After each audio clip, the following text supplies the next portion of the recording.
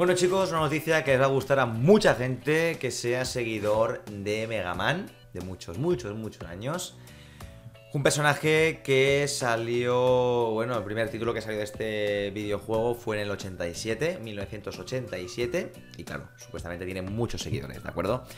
¿Y cuál es la noticia? Pues, como no, ahora se ha puesto de moda hacer películas basadas en videojuegos, ¿no? Pues ahí está, una nueva película se ha puesto en marcha eh, de Mega Man, no sé, se, bueno, se desconoce fecha, se desconoce qué nombre tendrá como título y, bueno, y muchas cosas más, ¿de acuerdo? Bueno, casi todo, simplemente la noticia es esta.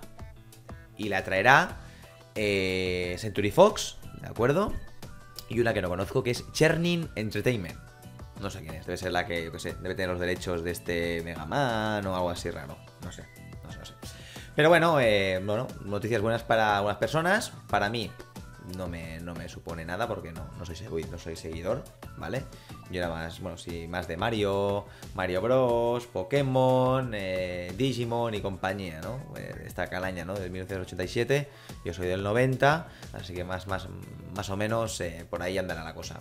Así que nada chicos, os dejo en la descripción la noticia de este maravilloso personaje, comentad cuál sería eh, vuestro personaje favorito y, ojalá, ¿no? Eh, muchas películas se hicieran basadas en videojuegos, ¿no? Porque ahora se ha puesto de moda, pero ya podría haber empezado hace, hace tiempo, la verdad.